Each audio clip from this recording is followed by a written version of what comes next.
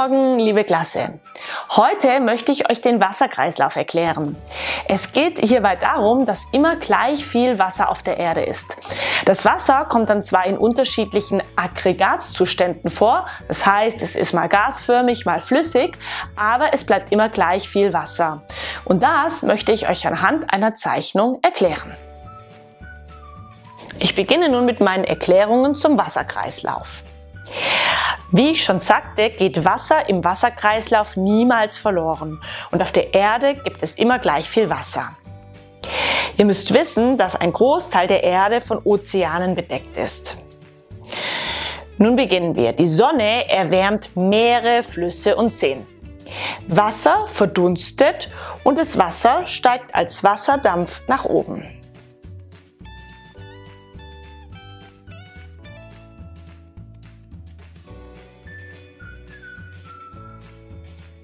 Dann kommt der Wind mit ins Spiel. Der Wind bewegt die warme Feuchtigkeit in Richtung Meer. Daraus entstehen dann Wolken.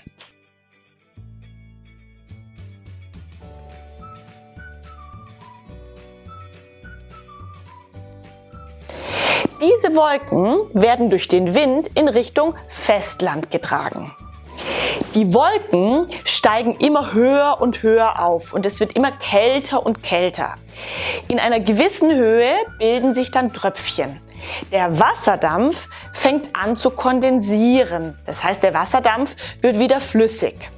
Die Wassertropfen werden größer und größer und irgendwann fängt es dann an zu regnen.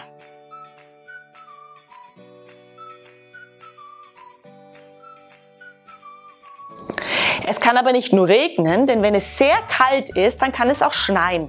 Also entweder im Winter oder in sehr großen Höhen, wie hier zum Beispiel bei diesem Berg. Da kann es dann auch schneien.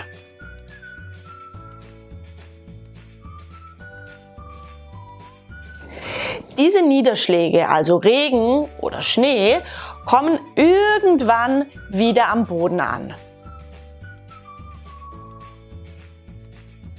Erst sind es Rinnsale, aus den Rinnsalen werden dann Bäche und schließlich Flüsse. Und irgendwann kommt auf diesem Weg all das Wasser wieder ins Meer. Und dann geht das Ganze von vorne los.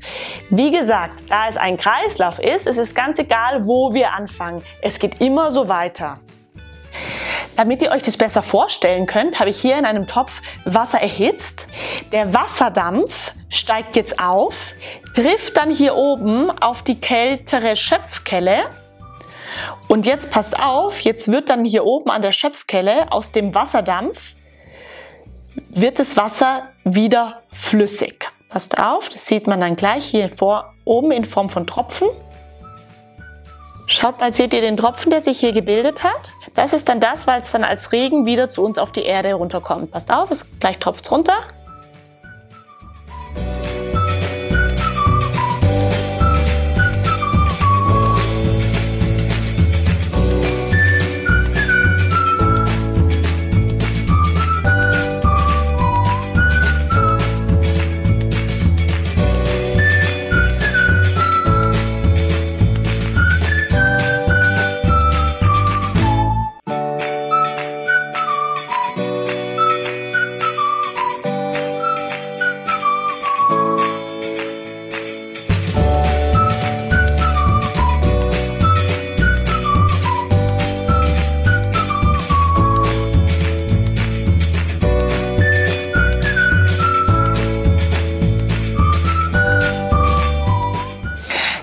Dass ihr nun verstanden habt, wie der Wasserkreislauf funktioniert.